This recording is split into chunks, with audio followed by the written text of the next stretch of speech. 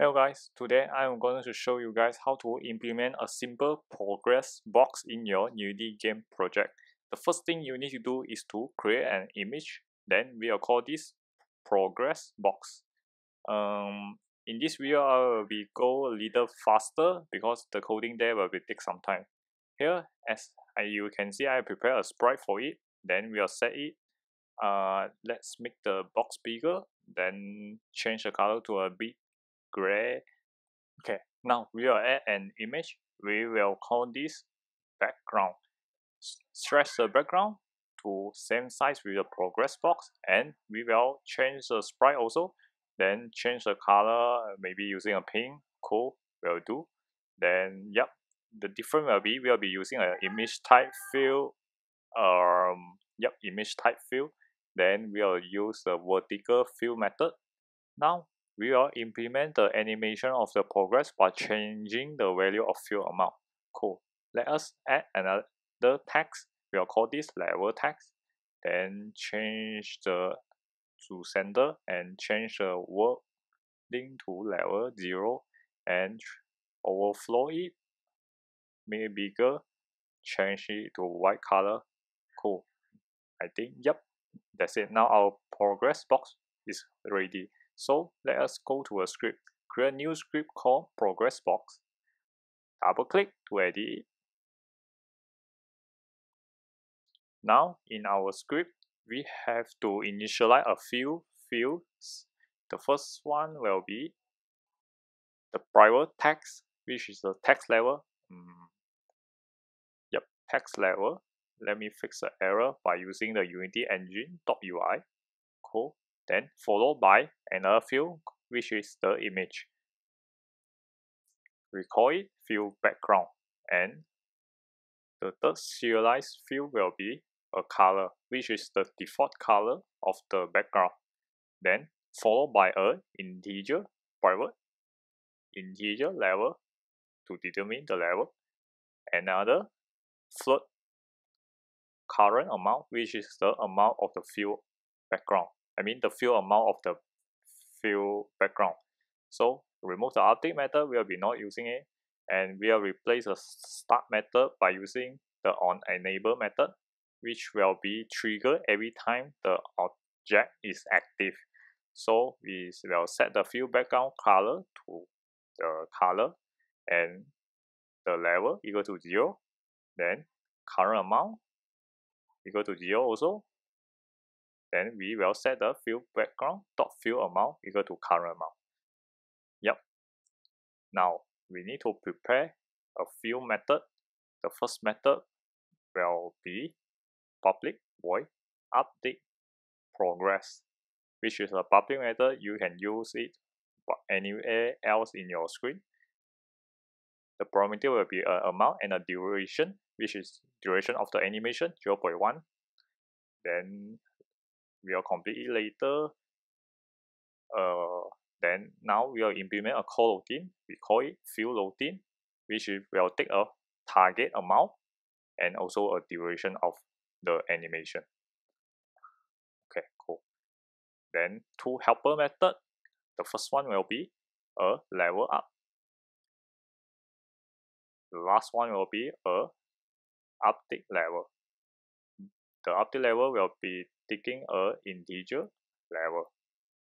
Cool. Now we will complete the fill routine first. The fill routine method we will initialize a time, first time equal to 0, then a temporary amount which is the current amount of our fill amount. Then we will calculate the difference between the target amount and the current amount by using the target minus temporary amount. Okay, now we will set the current amount equal to our target amount. Now we will begin our animation by using a while loop when our time is less than the duration of the animation. Then we will add the time, time plus equal to duration of last frame which will be the time dot delta time then we'll calculate the percentage of the fill amount that should be updated in this frame. So by using time divided by the duration. Then we'll set the fill background dot fill amount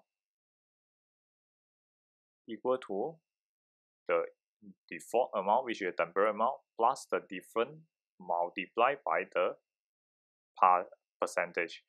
So then we'll yield return null for this frame. So lastly, if our current amount is greater equal to 1, because the maximum amount of the fill amount will be 1. So we will call the level up method. So in the level up method, we will just uh, call the update level method by level plus 1 and we'll reset it back by using update progress. The amount will be minus 1 and a 0 0.2 of the duration for animation.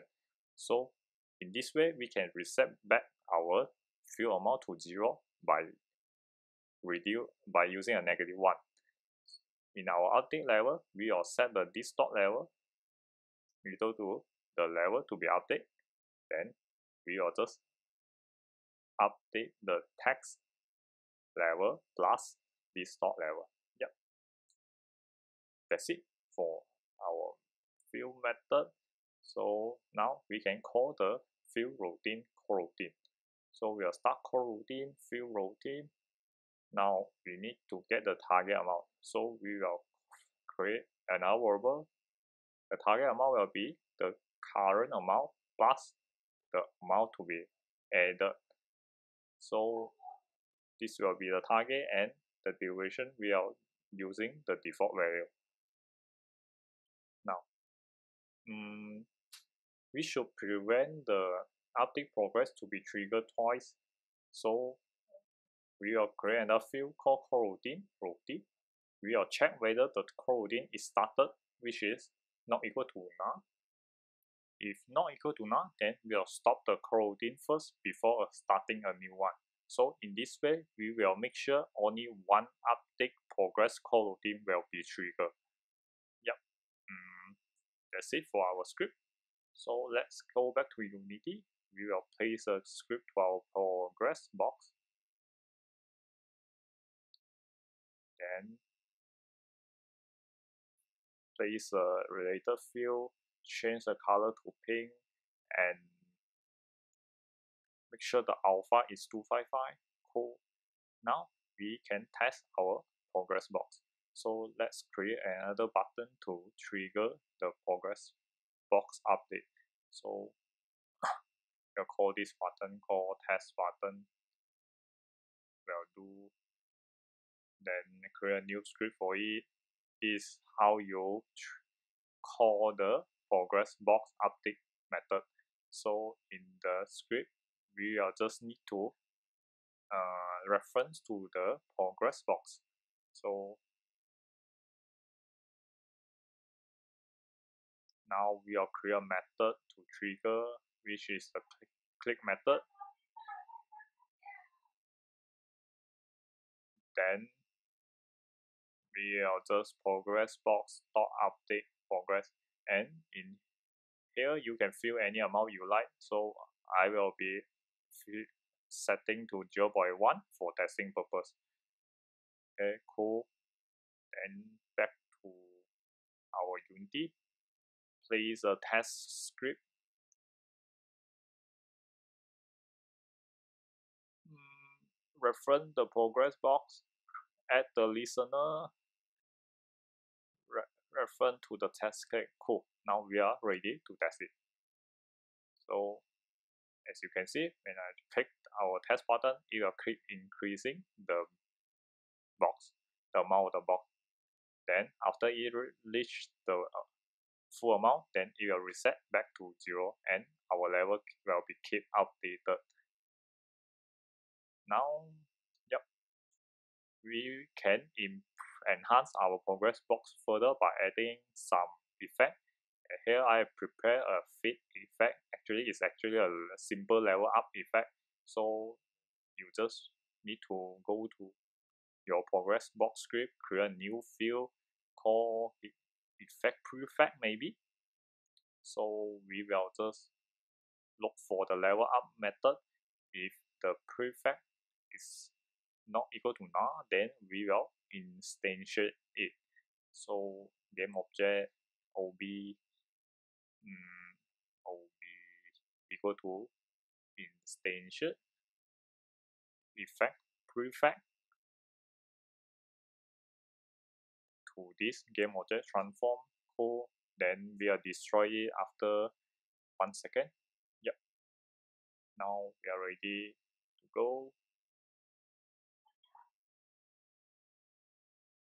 Add the prefab reference to the prefab. Before layout. Yeah cool. As you can see the effect is there. So here you can modify any I mean you can create any effect you want. What you need to do is place into the effect prefab. So you can change the field background also change the sprite change the color. I mean you can change anything on your progress box.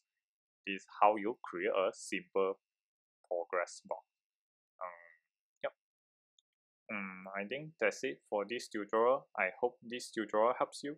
If it did please give this tutorial a like and also subscribe to my channel. See you in the next video. Thank you